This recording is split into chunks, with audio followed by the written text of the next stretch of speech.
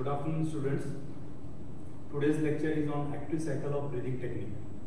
Basically, in your second year kinesiotherapy subject, you have this topic of active cycle of breathing technique, which is applicable for third year as well as for final year BPTH.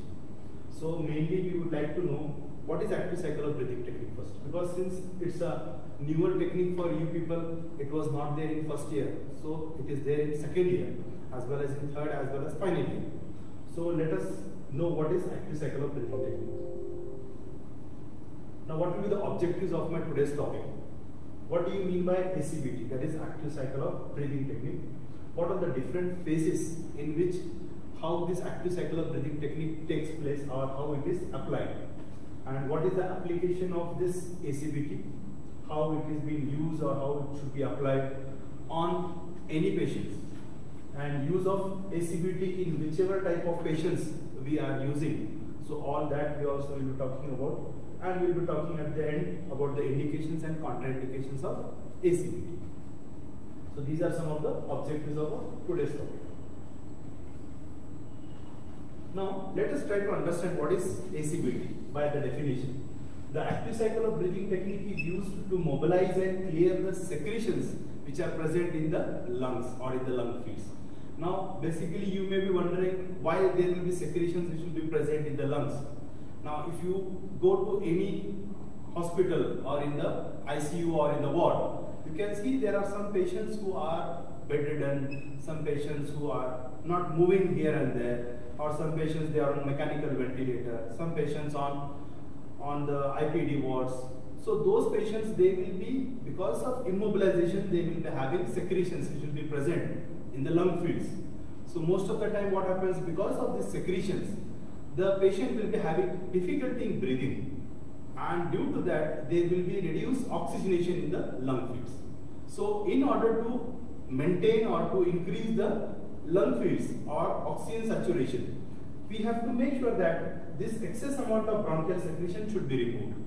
So majority of the time conventionally what the physicians or the doctors they do is they will tell the nurses to go for nebulization. But after doing nebulization, which is also helping to loosening the secretions, the nebulization, the effect of nebulization is to loosen the secretions, to liquidify the secretions. But once it is liquidified, then it will go in the periphery. Once it goes in the periphery, how to make it come from periphery to the proximal, that is to the upper end of the lung fields. So in order to do that, we need to mobilize the secretions.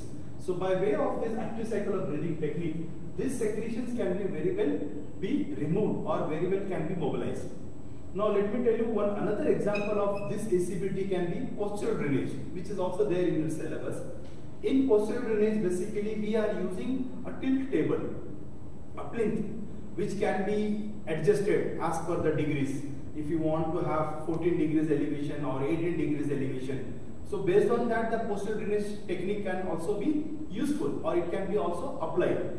But here in this active cycle of breathing technique, here the person will be made to sit in erect position, high sitting erect position. So based on this, it can also be used at the hospital level and at the same time at the home setup also.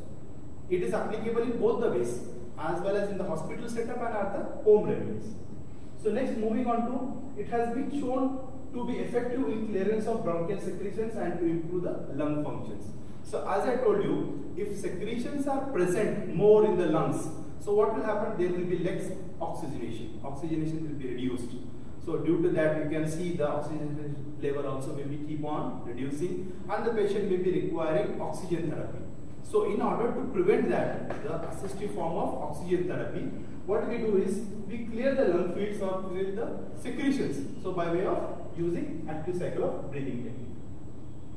Now next, moving to next point, it's a flexible method of treatment which can be adapted for use in any patient, young or old or any medical or surgical conditions.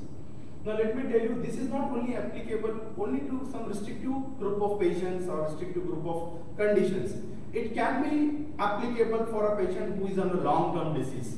Like for example, let me tell you COPD, chronic obstructive pulmonary disease, or some asthmatic patients, or some bronchial asthma patients, bronchiectasis. These are some of the long-term disease patients who will be having on and off secretions, accumulation of secretions. It could be due to diurnal variations. Sometimes in the winter season, sometimes in the rainy seasons, they will have infection. So because of that infection, there will be on and off accumulation of secretions. So it can be applied even in patients who are having on long-term disease or long-term drugs. Now next moving on to it can be used with or without an assistance.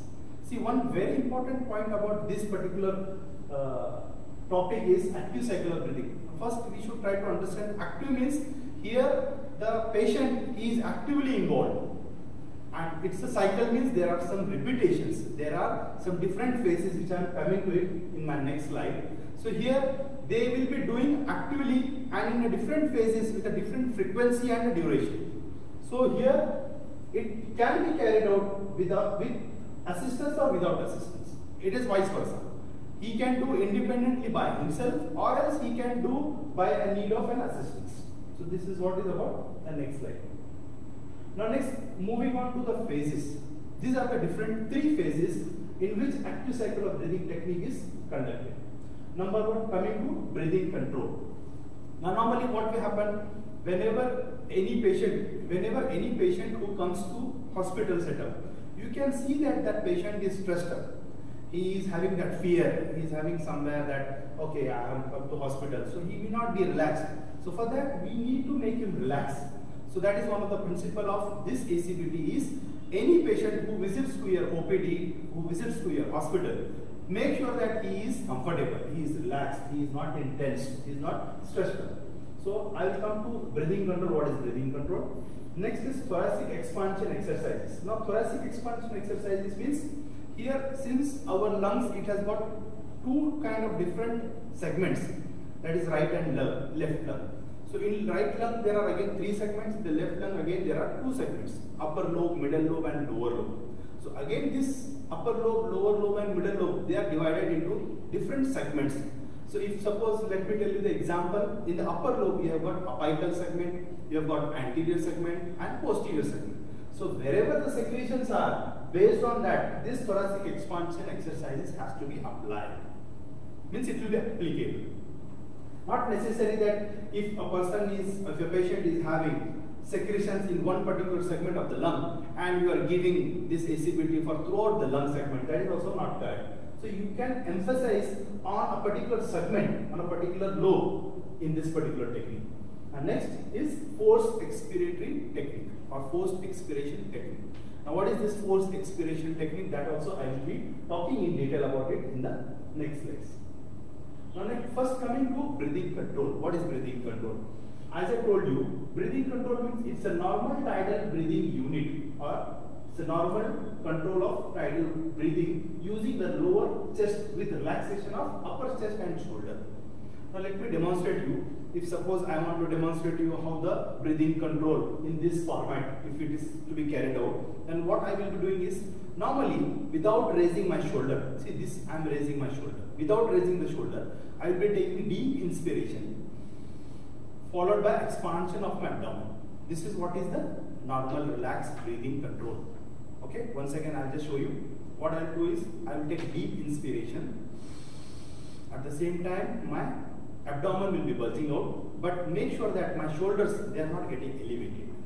That is not correct. So, in order to do that, it should be relaxed. The upper chest and the shoulders should be relaxed.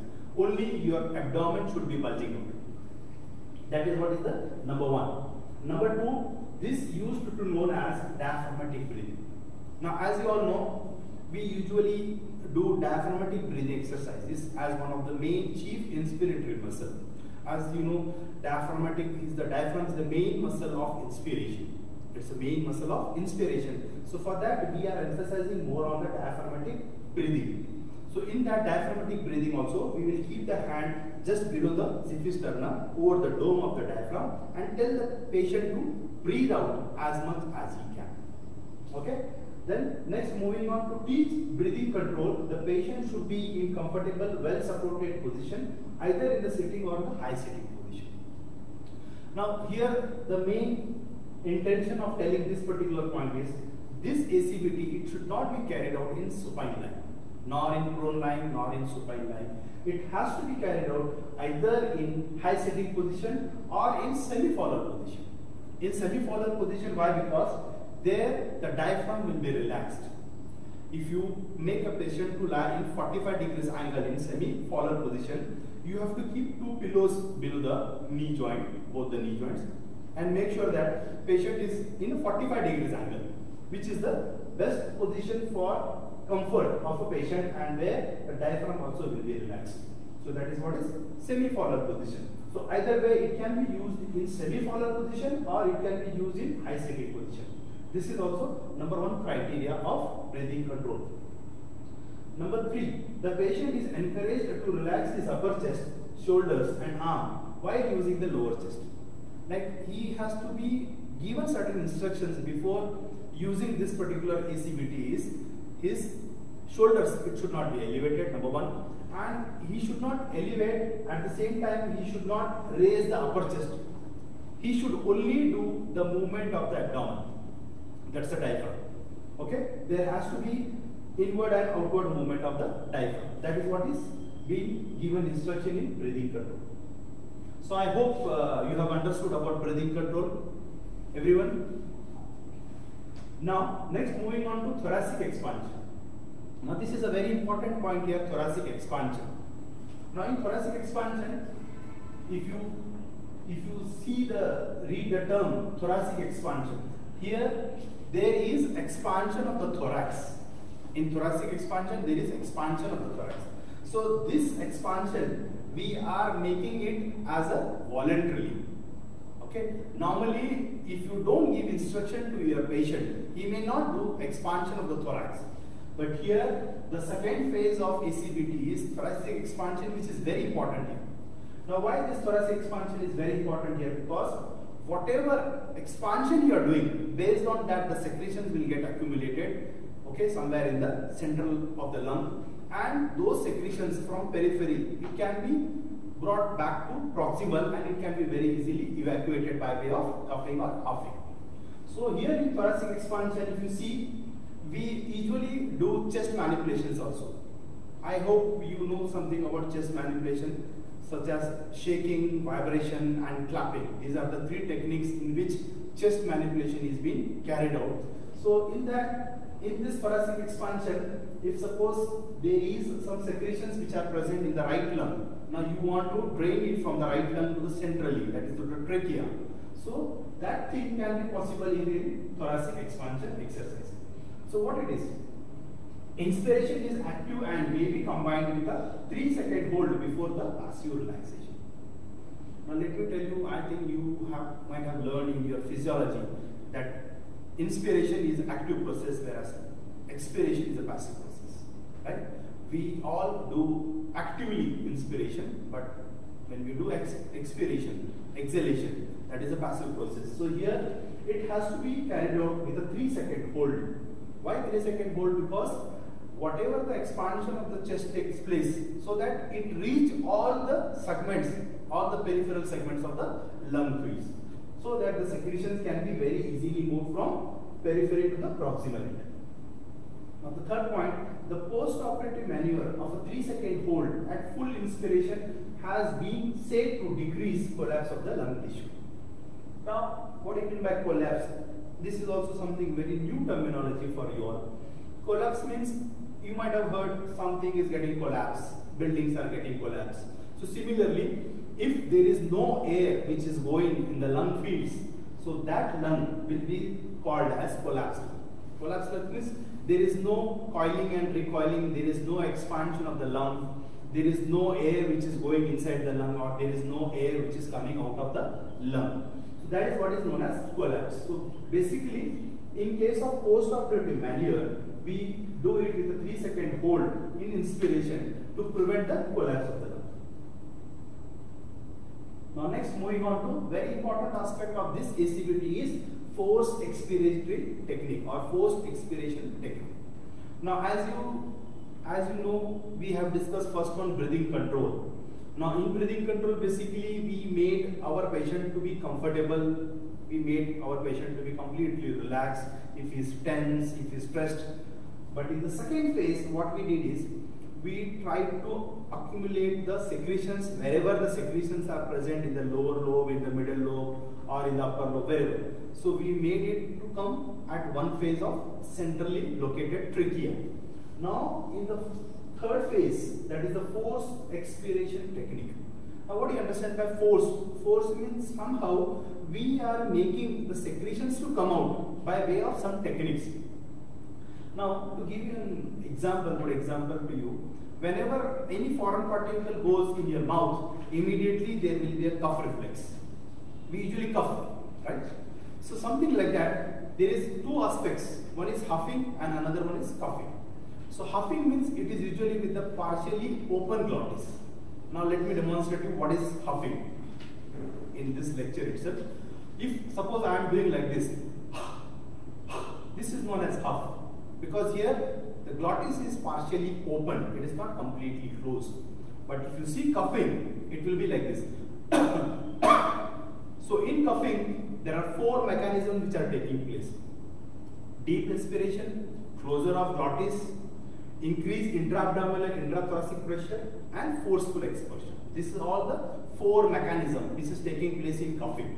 But here we want only huff because we don't want to put more pressure. Now basically if you see this coughing is contraindicated in post-surgical patients. Like for example any open heart surgery patient who have recently underwent a surgery of open heart surgery. So in those patients coughing is contraindicated. Why? Because there could be chances of break in the sutures or breakdown in the sutures. But whereas huffing, which is not having that much pressure, which will build up on the suture side, so it is more advisable. So here also in forced expiration technique, we are using only huffing. Don't mention coughing. Then the huffing, it will be from low lung level, low lung volume will move the periphery situation, secretions and, and a huff from a high lung volume. Now let me tell you more in detail about this. In our lungs, we have got three levels. Low lung level, mid level and high level. So low lung level means we are creating some pressure within the lungs so that somewhere it will come to mid lung. And from mid lung, we have to take it to high lung. So these are the three different phases in which a huffing is being carried out. So that is how this is, it is being taken from distal to proximal. That is from periphery to the proximal. So this is all about your force expiration technique. So I hope all the students they are understanding about this thing. Now if you see, this is one cycle of how ACBT is being conducted. So ACBT is conducted in this pattern or this phases. Now as I told you, there are three phases, breathing control. The number one is breathing control. So after breathing controls, there has to be three to four thoracic expansion. This is how the cycle is all over. As I told you, active cycle of breathing technique. So this is how the cycle is. So this cycle, it will take minimum 20 minutes, minimum, and maximum 30 minutes to conduct a particular session of ACBT on a patient. So after breathing control, you have to do 3 to 4 thoracic expansion exercises. So in this 3 to 4 thoracic expansion, there will be 3 seconds of hold, chest clapping, chest shaking or vibration. As I told you previously, there is something called chest manipulation where we have got vibration, shaking and clapping. So this is all we have to do these three sessions in 3 to 4 thoracic expansion. So after the second cycle, then once again you have to make your patient to go for breathing control. Now why again and again there is a breathing control? You may be wondering why there is a breathing control here.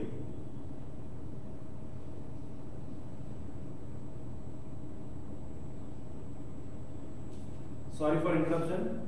There are some arrow marks which I wanted to delete, but let it be. So again in breathing control, it's again getting repeated here second time. Because after doing this 3 to 4 thoracic expansion, a patient may be exhausted. He may become exhausted. So in order to prevent that exhaustion or exertion, we have to make him to come back to normal, that is breathing control. And after breathing control, once again 3 to 4 thoracic expansion exercises in which there will be a 3 second hold, chest clapping, chest shaking and vibration. So all this will be again once again repeated in the fourth time. Then again fifth time, once again it will be a breathing control. There will be a breathing control and the end you have to see that there will be a forced expiration technique. As I told you, the last phase is forced expiration technique. So what we are doing in the first phase, we are doing breathing control. Then we are trying to loosen the secretion by way of 3 to 4 thoracic expansion in which 3 seconds of hold, chest clapping, shaking, vibration. Then secondly, breathing control. Once again repeatedly we are doing 3 to 4 thoracic expansion and followed by breathing control and at the end we are doing forced expiration technique. So in force expiration technique, it is one or two huffs combined with breathing control. In the last phase, where the secretions will be removed out, means it will be expelled out. So that is how the cycle takes place. Now see in this also, in this image also you can see that this is how the breathing control is followed by deep breathing, then breathing control, then there will be a small long huff, then there will be a big short huff. Okay, this is how the huffing and the breathing control phase is being carried. out. And another one image in which they are telling that it is 20 to 30 second holds in breathing control means in short if you want to carry out this ACBT technique it should be as I told 20 minutes minimum. So in 20 minutes there will be 20 to 30 seconds of breathing control, 3 to 4 deep breaths, breathing control once again, and 3 to 4 deep breaths followed by breathing control and huffing at the end. So this is how the cycle will continue. Now coming back to application of ACBT. Now application means why it is applied, in which conditions it is applied, and what for we have to apply. Okay.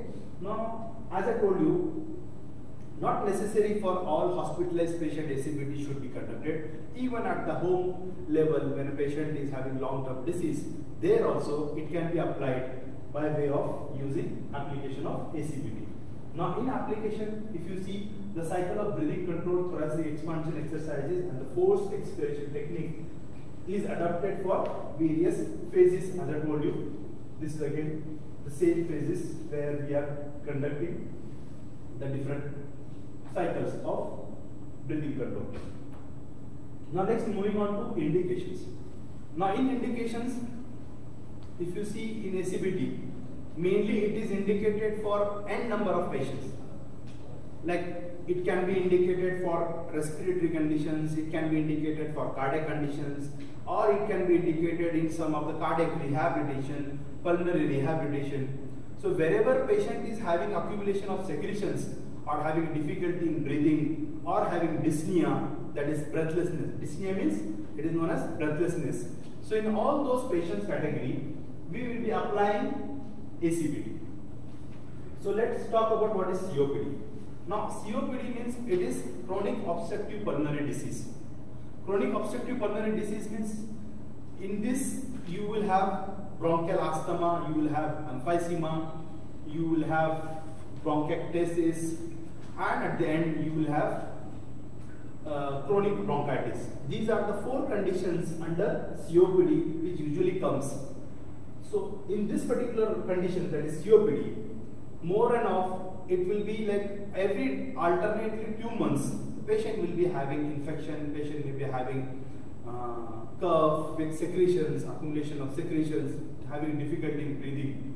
So in this category of patients usually it is very much indicated and in some very elderly patients, geriatric group patients or newborn infants or children who are very oftenly getting infected due to the ambience, they also can be thought with ACBT techniques. So it can be indicated in COPD as well as in those patients who are having accumulation of secretions to mobilize the secretions and to remove the secretions very easily without any mechanical device or without doing suctioning or without doing anything, this particular technique can be found to be very useful. Now next indication is pneumonia. Now pneumonia means, this is again a new terminology for you people. It's an inflammation of the lung tissue. pneumonia means. So inflammation of lung tissue means it can be a hospital acquired pneumonia, a patient who comes with some disease and he get infected with some hospital acquired pneumonia. That is one of the conditions very commonly we come across in the hospital setup. So in those conditions also you can see the lungs are completely consolidated. They are having secretions all over the lung fields, scattered all over the lung segments. In those conditions also ACBT is found to be very effective. And the third one is ARDS. ARDS means Adult Respiratory Distress Syndrome. This is also one of the conditions where usually a patient is on oxygen support or he is on mechanical ventilator, he is on some form of artificial ventilation. So there again the patient will be having ARDS. So that also is one of the indicated patient who can be applied with ACBT. And the last one is the restrictive lung disease. Now the restrictive lung disease means where there is problem with expansion or the coiling and recoiling of the lung fields. That is what is restrictive lung disease. So here again, what will be happening is the PFT values or the oxygenation will be reduced or will be less than the normal. So because since they don't have enough amount of oxygenation, so there it becomes mandatory that to remove the secretions as early as possible to prevent the infection. Now what will be the contraindications? The contraindication means as it is if you see ACBT, it's not contraindicated as such, but here one condition is the patient has to be conscious, he should be oriented to time, place and person. Whenever you are giving actively, see as it is the name itself says that active circular breathing technique. Active circular breathing technique means a patient has to be actively involved in doing this particular technique. So that's why in an unconscious patient, it is highly impossible that to apply this particular technique. So it is contraindicated again there. And secondly, in unstable parameters. Unstable parameter means, let me give you one good example. If a patient is having fluctuation in his BP or fluctuation is in ECG or heart rate, it is he is not maintaining the normal values. The values are fluctuating on and off. So in those conditions also ACBT may increase the critical situation of a patient. Means patient may become unstable parametrically. So that's why it should not be applied. And the last one is critically ill patients. Now if a patient who is very ill, who is very elderly patient, who is not able to understand the commands or the responses, or uh, uncooperative patients, or patient who is you know, having very much difficulty to understand or to do it or to apply it, in those patients also it is not possible to give, so it is contraindicated. Now next coming to the very important aspect of this particular topic that is active cycle of breathing technique is what are the goals and uses. Now for any technique whichever we are applying for any group of patients, for any group of conditions, there has to be some aim and objectives. So based on those aims and objectives, the technique will be applied. Now number one, the first thing will be, as I told you, active circular breathing technique is mainly applied for clearing the lung secretions. Okay, the lung secretions. I think you might have come across during COVID situation also, patients were having requirement of oxygenation. There were huge demand of oxygenation. Patients were having um, lots of lots of amounts of secretions. So at that level, at that point of time also, ACBT was found to be very effective in clearing the lung fields or clearing the lung secretions. So the first aim or the first goal and uses will be to clear the lung secretions. Next one, to assist in normal breathing pattern. Now, assist in normal breathing pattern means if you if you have seen any patients who are having breathlessness, we call it in the medical terminology as dyspnea Dyspnea means a patient who is exhausted and who is not breathing normally. The respiratory rate will be either altered, will be increased. So in that condition, a patient will be having you know little bit restlessness. He will not be very much uh, comfortable. So for that reason, the aim will be to assist in normal breathing pattern. So somehow a breathlessness patient must, must be made to relax, must be made to comfort. The third point, to improve oxygen saturation. This is very important aspect of this particular ACBT technique is we are doing uh, ACBT technique to improve oxygenation. Now, as I told you in my previous lecture, that when you want to improve oxygenation, somehow the lung fields has to be clear from all the aspects. It should not have secretion, it should not have accumulation of secretions, or it should not have any collapse, or it should not have any alteration in the condition of the patient. So for that reason, to improve the oxygen saturation also, we need to aim for the goals and its uses. Number four, collateral ventilation. Now collateral ventilation means as we know, the lungs it is divided into right and left lung. There are two lungs. In the right side if you see there are three segments, in the left side you see two lobes and right side three lobes. Again within that there are various segments. So if suppose right lung is being affected with secretions or being affected with reduced oxygenation. So what we do is we try to correlate or we, we try to collateral ventilation. We do by way of collateral ventilation. Somehow the affected lung or the diseased lung also will be improved by way of the normal lung or the healthy lung. Okay, let me narrate you one example. In a case like where right lung is being affected with reduced air entry or having lots of secretions, but the left lung is the normal lung. So somehow we have to make use of our left lung to somehow assisting the right lung. So that is how it collateral ventilation means, which is otherwise also known as pores of Kohn, P-O-R-E-S, pores of Kohn. That means it assists in collateral ventilation. Number fifth, it's a long-term bed-ridden patients. Now, as I already told you, a patient with a disease or a condition called paraplegia or spinal cord injury patients. They are not patients who get uh, easily recovered in very short span of time. They will be in the hospital for almost six months, one year, or maybe years. So in that situation, they will be considered as a long-term bedridden patients. So they will be in hospital for some time, which is a prolonged time during that time, because of immobility or because of their phase of immobilization, they may be having accumulation of secretions, which is the biggest challenge for the medicine people or surgery people, the doctors, so that somehow to prevent the patient to go from infection. So that is also one category. And the self-assisted technique for home remedy. As I told you, it's a self-assisted technique for home remedy. At the max, what happens when a patient is admitted in the hospital? So there you can see nurses will be there, residents will be there, physicians will be there, doctors will be there, physiotherapists will be there, all people will be there. So they are taking care of you.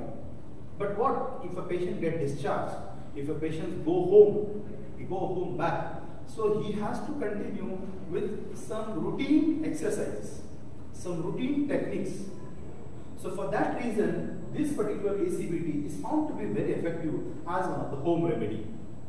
Because in this what happens is, when he is there in the hospital setup, when he is being taught ACBT, or when he is being taught with incentive spirometer, or breathing exercises, or postural drainage, those things, whether patient will ask whether I can continue this at the home remedy, so one among them is active cycle of breathing technique. So active cycle of breathing technique means here it's very easy to understand and it doesn't require any equipment.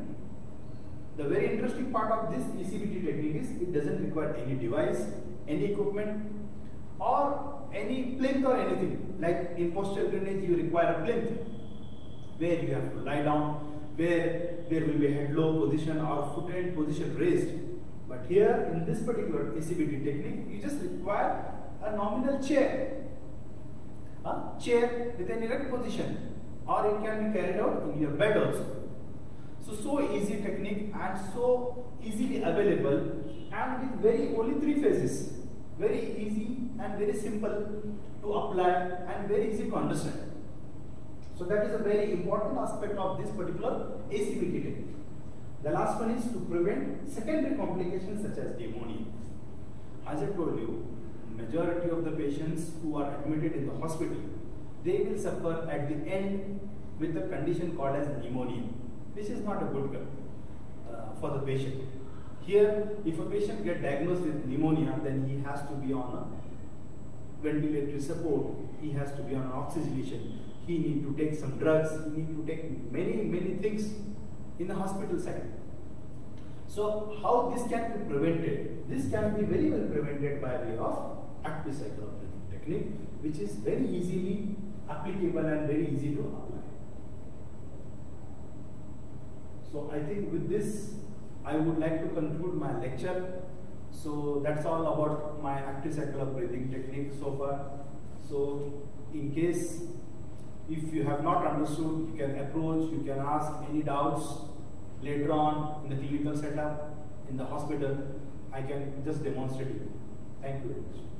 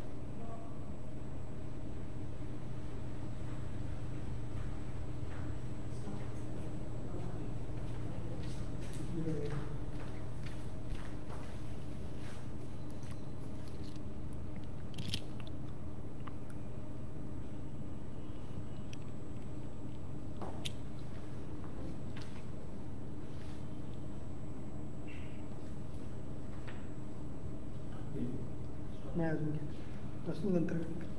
हो stop करायचं ती. संपलंय पण सगळं. हां. यायला लागले ते. येऊन दिलं वाटलं सर यात दोन मिनटं एक्स्ट्रा होऊन दिलं पण केलेलं जायला नको